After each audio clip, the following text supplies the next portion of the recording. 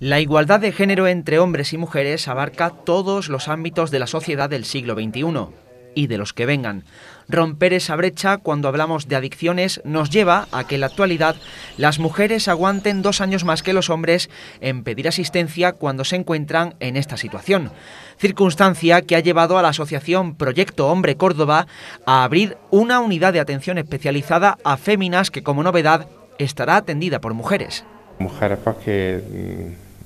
no han venido por una adicción a lo que se entiende por drogas ilegales. Vienen porque tienen situaciones de estrés, tienen situación de, de baja autoestima, en algunos casos de, depresiva, o sea, con sintomatología depresiva, incluso con ansiedad. Actualmente el 85% de los usuarios son hombres, dato que lo dice todo a la hora de reflejar que hoy por hoy las mujeres siguen viendo como un tema tabú por lo que suponen las adicciones y los estereotipos asociados al colectivo femenino momentos han sido diagnosticadas y se les ha recetado tratamiento y una vez que acaba el periodo que se considera por parte de salud de enfermedad, pues algunas de estas mujeres han continuado con esos tratamientos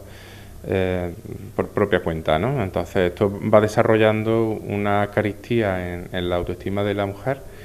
y aparte va potenciando una posible adicción pues, a distintos tipos de medicación psiquiátrica, ¿no? A través de la línea telefónica, Proyecto Hombre podrá a disposición de las usuarias toda la información que corresponde con los programas que ofrece, desde acciones preventivas para neutralizar conductas problemáticas hasta un programa de apoyo a mujeres con problemas de abuso de sustancias. En la actualidad, unas 39 personas trabajan en la sede cordobesa de Proyecto Hombre y otras 5 en Lucena que dan lo mejor de sí para tender la mano a quien lo necesita de verdad.